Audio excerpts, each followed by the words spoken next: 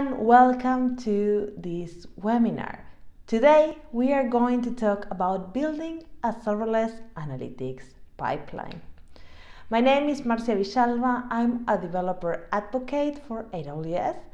I'm also the host of a YouTube channel called Foobar where I post videos every week, two or three times about serverless. So without further ado, let's get started. The first question I want to address in this webinar is why analytics? You might be wondering, well, this should be a technical session and why she's talking about that. But I think this is the only non-technical part in my session and I want to bring up the relevance that analytics have in organizations because analytics are critical and they have been considered the world's most valuable resource for organizations. This is the edition of uh, The Economist in 2017. So it's been already some years and it's still the case. I work in many organizations where maybe if you look them from outside, their core product was not analytics, but internally analytics were the core of the um, whole company. And why is that? Because data is the way to ask the customers what they want.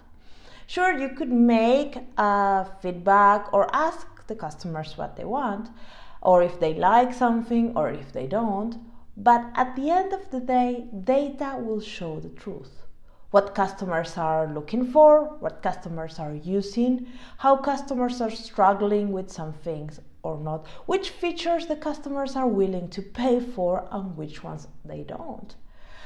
You can also Im- embed machine learning uh, with this data and get amazing results. You can try to predict the user's behaviors or what they are going to do. So, data is a crucial asset in all organizations nowadays. However, there are many organizations out there that are in very different stages of maturity regarding to their analytics pipeline. And this might be because of many reasons. First, because they are uh, not really valuing data in the way that it should be valued. They, they have not found themselves that they, they need that information. I will argue about that and think every organization needs data. Then maybe it's a technological problem. They don't know how to implement these pipelines for getting their analytics in place. And that's a quite common problem because if you look at organizations that are big and have a very sophisticated pipeline, they have huge teams of people working every day in solving these issues.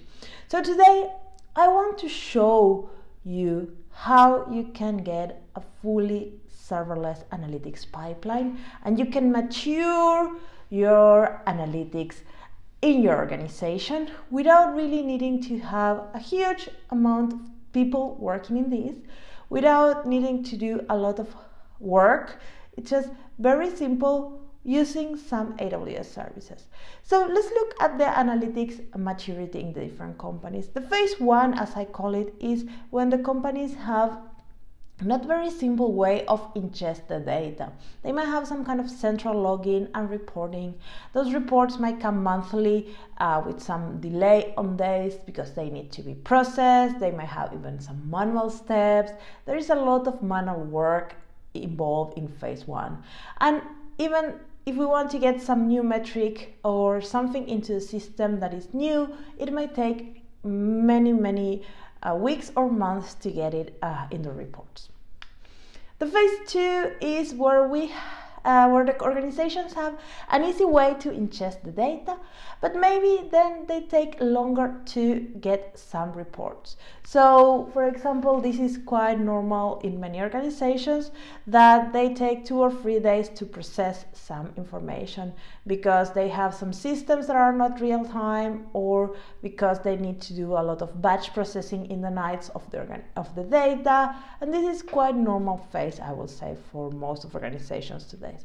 Also, phase three is uh, quite normal. I would not say that is the most common. I think big organizations are in this phase three.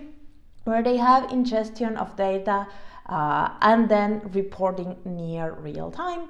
So basically, um, they can see if they're an e commerce platform, how many customers are in the platform right now, where they are living. Uh, I don't know if you ever use uh, some analytics tool for websites that or some um, analytics for videos that you post online or in your social media, you can see some of these live analytics, how many people are watching the video currently and how many people watch it and how many people are in your sites right now and how many views you are got right now. So imagine this bad power to the scale of an organization and with all this information coming right away.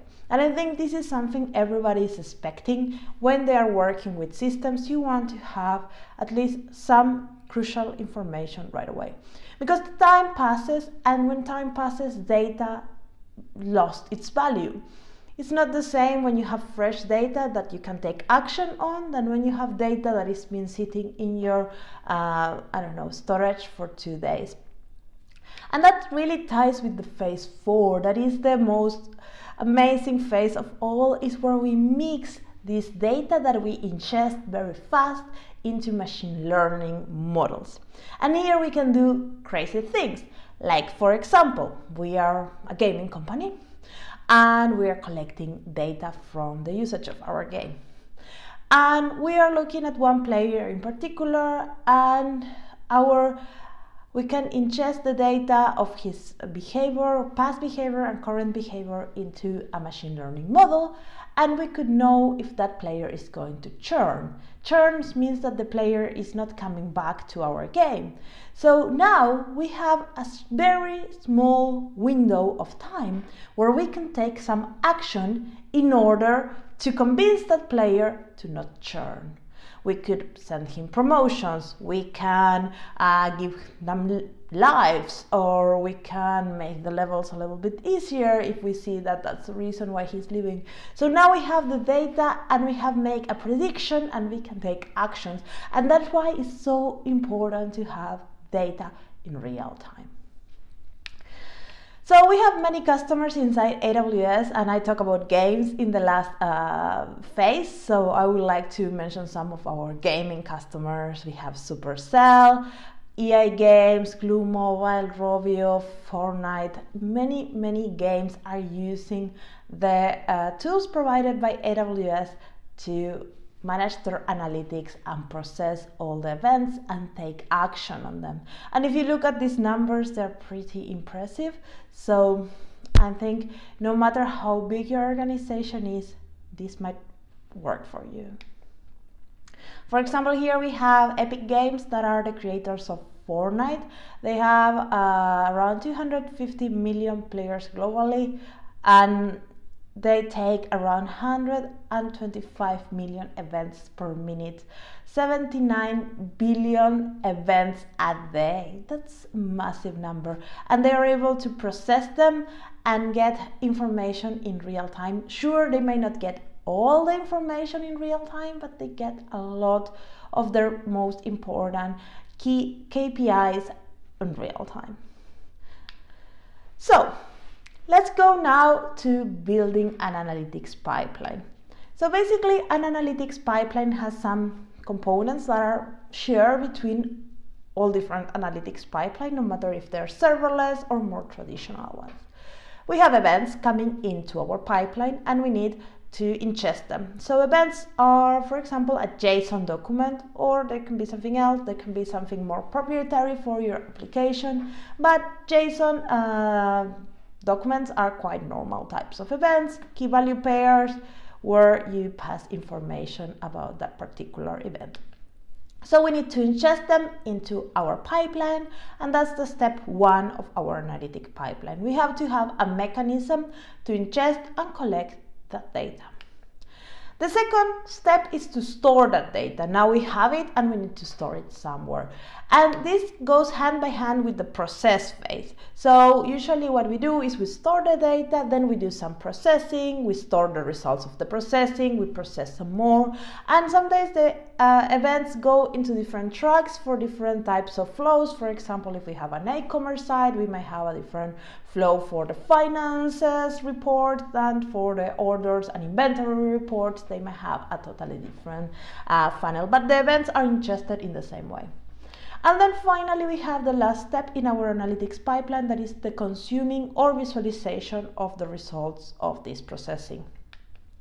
And that will give us answers that can be in metrics, numbers, or whatever we want. And in here, when we consume, we can also attach the machine learning step to consume this data into a machine learning model. So that will be the step where we would like to put the machine learning.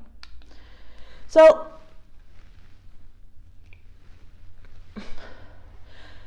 So here we have the AWS Analytics portfolio. It looks quite big. We have many services that can help you to build your analytics pipeline.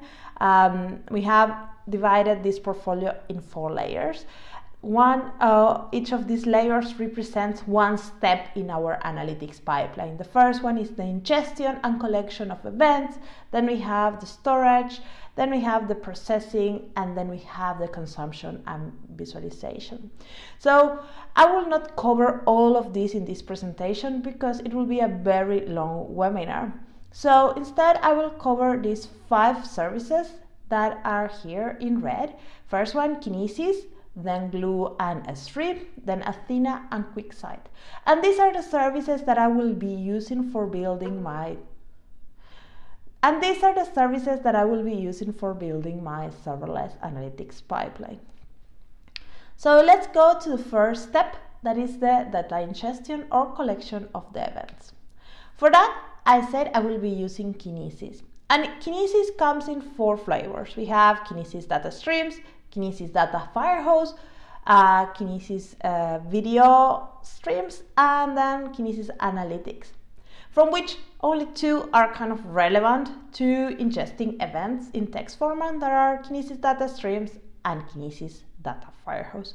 So these two services, when you look at the documentation or you look them uh, just by a, a fast uh, look, they might look very similar, but they're very different. So let's look at each of the services in a little bit more detail. Kinesis data streams allows you to capture, process, and store data streams. That's quite uh, what we need.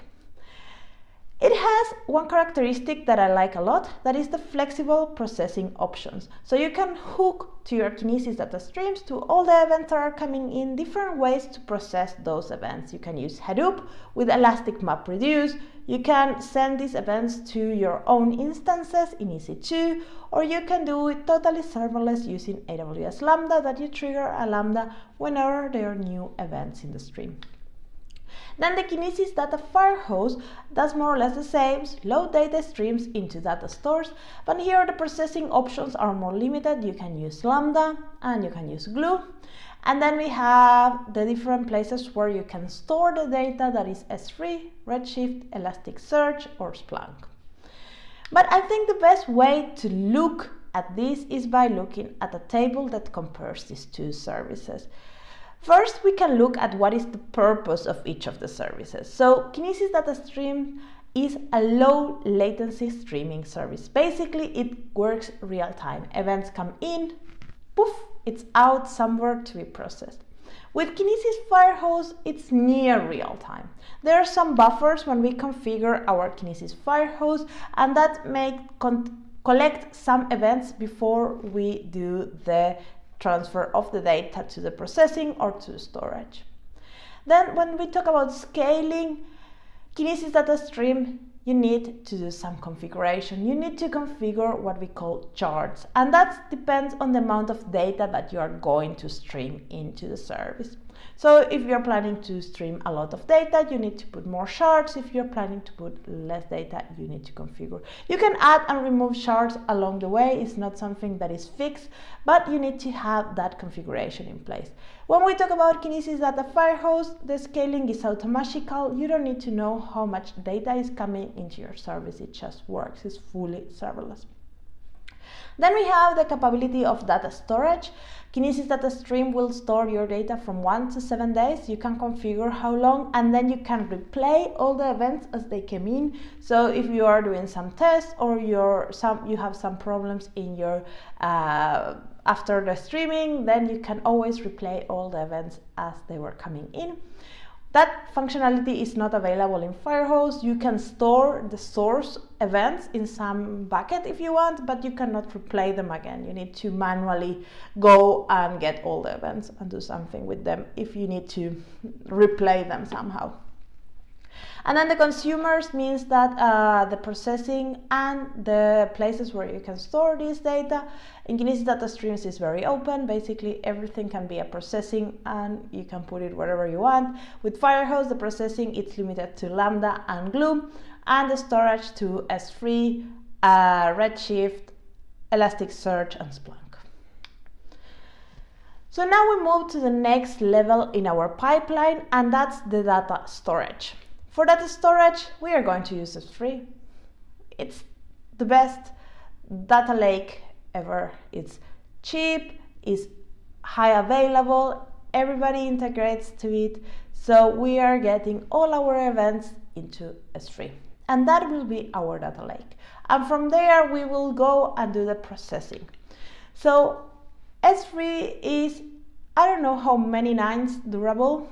It has global replication capabilities so you can have you can make sure that these events are available everywhere it has really good management features so you can uh, move your events if you want to different uh, life cycle mechanisms delete them with time it's very cost efficient. You have different storage classes that you can apply to your events as they stop being useful because sometimes as months pass, we don't go to the raw data anymore. So S3 allows us to build a lot of logic into moving those through the different storage classes until we even want to delete them.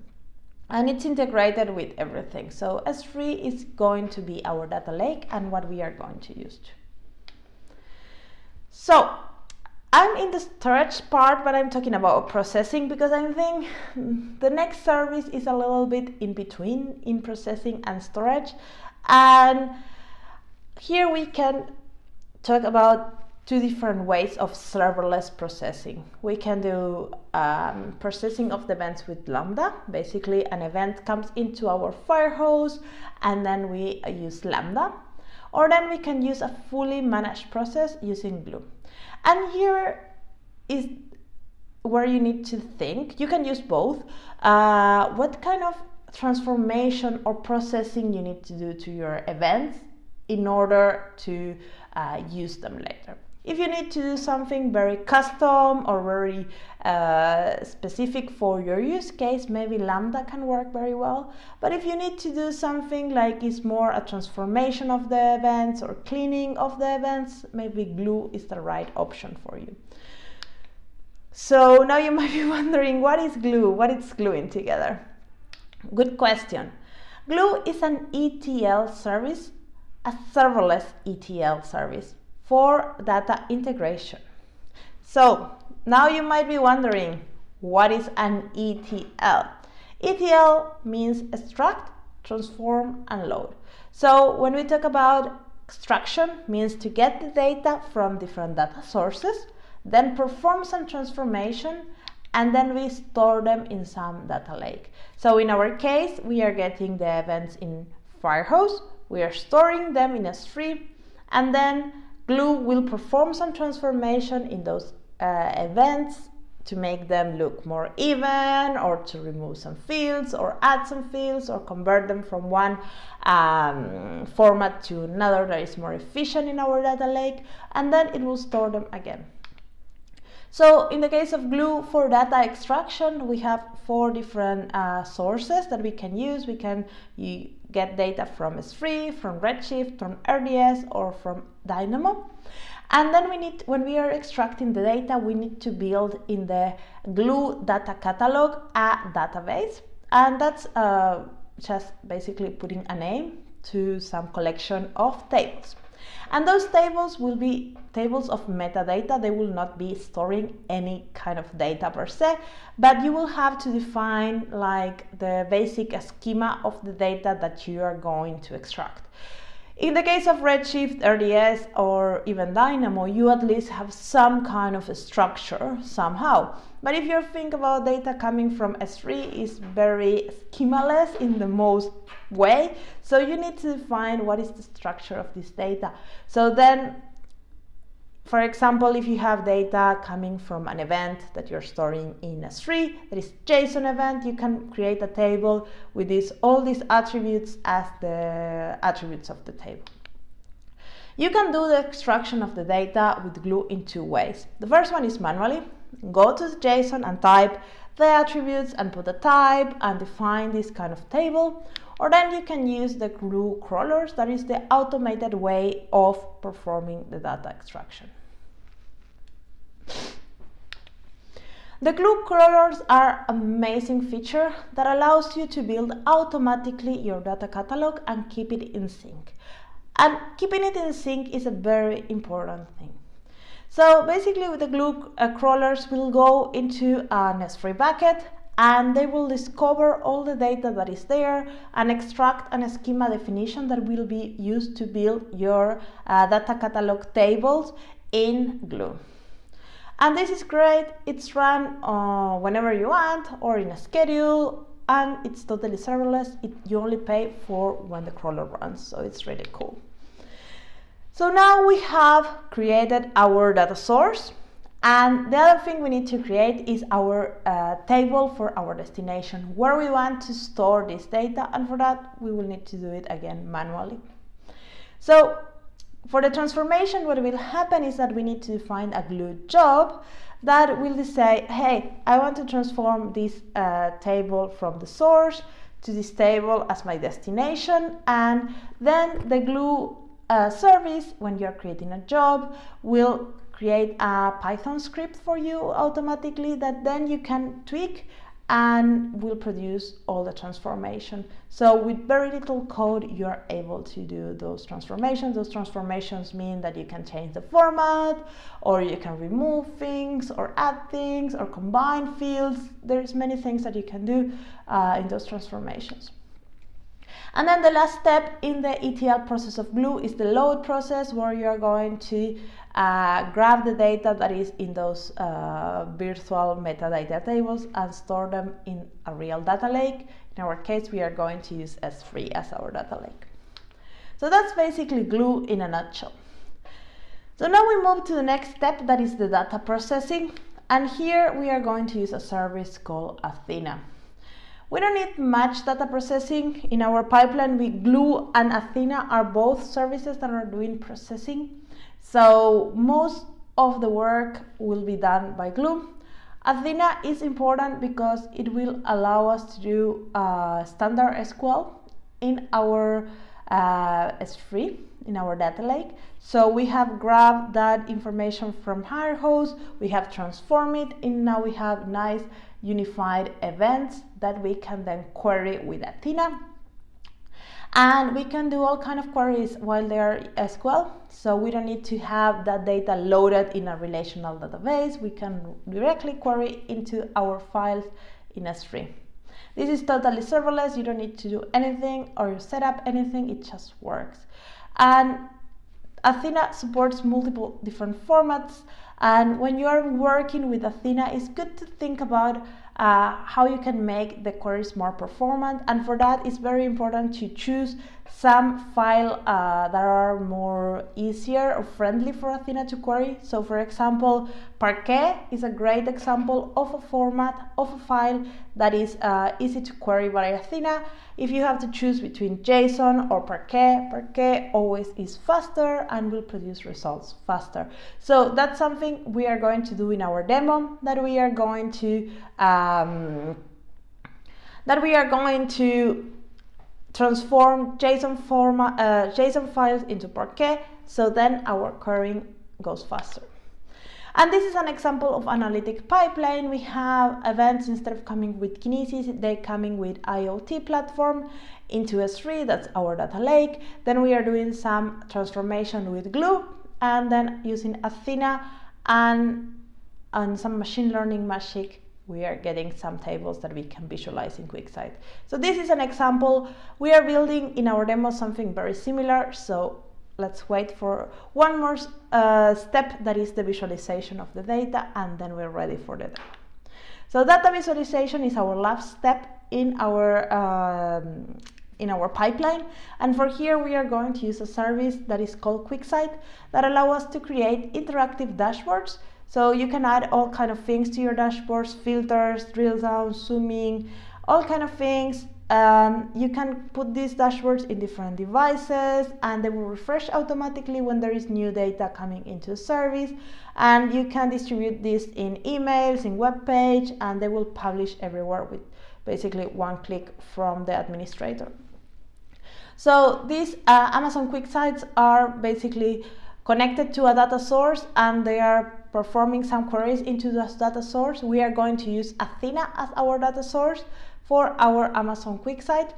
And this is really good because some of these BI services tend to have problems when you have multiple users using the services, but when you're using QuickSight, it doesn't matter how many users you have, it just scales because you're working with the cloud as your backend and you can connect it to machine learning if you want and you can do all kind of nice things. So now we go to the demo and let's check it out. So so, if we will be live, I will tell you please go to this web page and vote for your favorite language. But sadly, this is a recording and I cannot do it. So, I will give you access to the GitHub repo of how I build this application. This is a super simple application, but it has a trick. It's connected to AWS Amplify. So Amplify is a set of libraries that will help you to build your client applications with a backend in the cloud. In this case, this application just has a connection to uh, AWS Kinesis Firehose. So I open uh, using Amplify library connection and using uh, also Amazon Cognito user pool with an unauthenticated connection. So that means that you're getting credentials, like temporary credentials, to put events into this particular Kinesis. That's what Amplify is helping me for. So whenever you click in any of these languages, an event is sent into my Kinesis Firehose. So this is the demo architecture. So I have this application. I will be hosting it with Amplify and it will be created a CloudFront distribution. So this will be available everywhere, but you cannot see it because this is not live, but go and check the demo that everything is explained there. Then the events will be going to Kinesis Data Firehose that is authenticated behind a Cognito. So if the uh, users have the right uh, access, they have the right uh, temporary credentials to put events in Cognito, they will be able to put the events, and those events are going to be stored in our data lake that is going to be S3. The events are coming in JSON, so whenever they're coming, Glue will be transforming the events into Parquet. That's the only thing that is happening from Glue. They are transforming the events into Parquet and storing them again in JSON.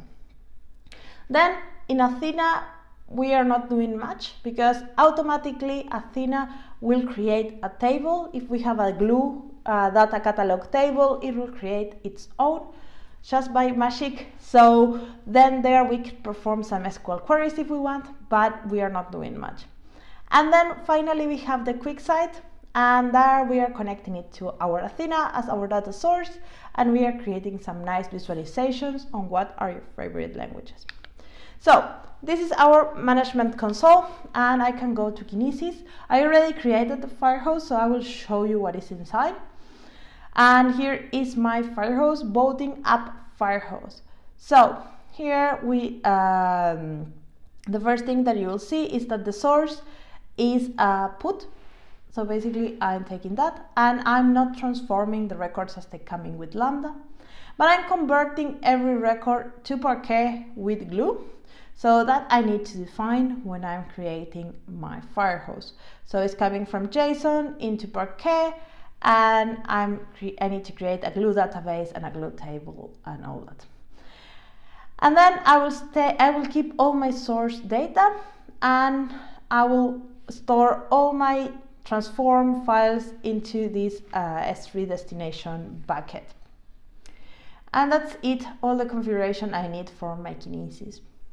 I will leave you after this demo a link where you can see me building this step by step. I have created a series of videos, but just the creation of this takes over an hour. So I think it's better to show you the end result and then you can go and check the videos. So then uh, we are going to check the monitoring and here I just send some events. So you can see that there is some events into uh, our Firehose and if you look, everything looks more or less the same because I just sent like uh, 16 events basically 16 clicks to my favorite languages. And if there will be some errors, I will be seeing in them in the Amazon S3 logs. Then I can go and show you what my glue looks. And in here, I will open it and you will see that I have one table, the destination. Because the way that uh, glue and Firehose is uh, connected, I don't need a source. This is a Parquet table, so this is the end result after the extraction. And here you can see the schema, and this schema was created with a crawler. How this data is stored uh, in Firehose is using partitions. And this is the important thing of the glue crawler. So basically, when data is coming into Firehose, it will be stored in folders. Uh, year, month, date, and hour. And then inside there, it will be put the events. Why is this done this way? Because it's more efficient for the organization and finding things, and for S3 and for later processing. It's way more efficient to use partitions. So partitions are a good practice in the analytics uh, community that they will store the events in this way. So the thing is that if you define your destination tables manually, then it will be very hard for you to find uh, the latest partitions because the partitions are changing every hour. So for that, I have a crawler that is running every hour and it's populating those partitions. So if we go to Athena, then we can see there that we have the AWS data catalog and the database is the same that we had in Glue that comes automatically. And here is the table that was defined in Glue. Same table, same attributes. We can run some queries if we want and we will get some results. We can run more complex queries I just run a basic select and here you can see all the results that are currently in our S3. And finally, we can go to QuickSight and we can basically configure some visualizations. This is the default visualization, that is the little, um, what is called ray that it just takes some table and decides what is the best visualization for this. And it decides that it's counts of records by language and I agree it's good.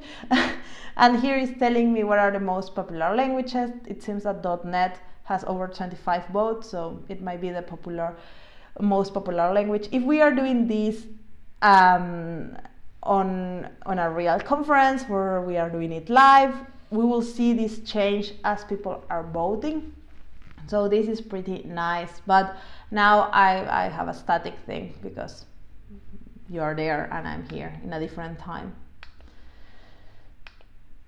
So, as I said, if you want to know how I built this pipeline step by step, I recommend you to go to this URL.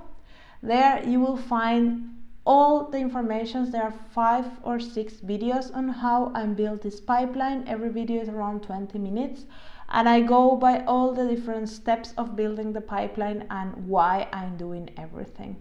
So, and also if you have any questions on those steps, I really encourage you to leave comments there. I'm always happy to answer in the videos.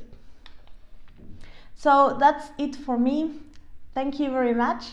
And again, I'm um, Marcia Villalba and if you have any questions that I'm not answering today in the webinar, you can always ask them in Twitter or in YouTube channel. in the right videos. I have my Twitter messages open always for questions, and my YouTube channel has comments enabled, so I'm always happy to answer questions as they come. Thank you very much for listening. I hope you have a great day and see you around. Bye bye.